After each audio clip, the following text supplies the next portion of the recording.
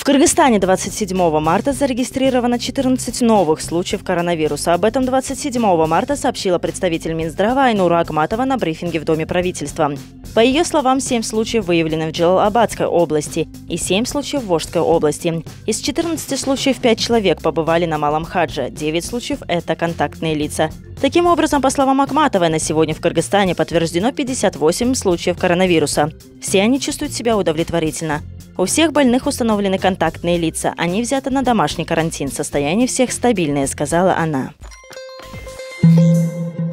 В Бишкеке задержан Даниэль Аджиев, сообщили 27 марта в МВД. Были допущены оскорбительные выражения и публичные негативные высказывания, способствующие разжиганию ненависти и вражды, говорится в сообщении милиции. Следственная служба МВД осуществляет следственно-оперативные мероприятия по возбуждению расовой, этнической, национальной, религиозной или межрегиональной вражды. Так, 26 марта уроженец Бишкека Даниэль Аджиев 1990 года рождения был задержан и выдворен в ИВС ГУВД Бишкека.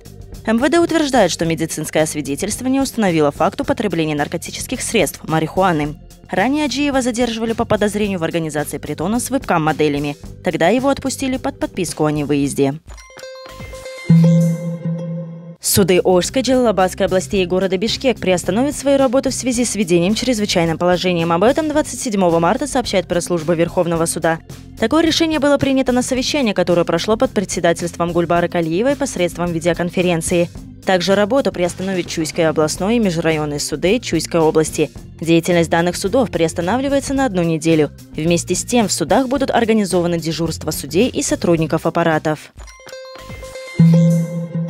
Вчера был подписан приказ о беспрепятственном движении в городе ряда транспортных средств, сообщил 27 марта комендант Бишкека Алмаз Урузалиев в ходе брифинга. По его словам, препятствий в транспортировке продуктов питания, медикаментов и товаров первой необходимости со стороны правоохранительных органов не должно быть.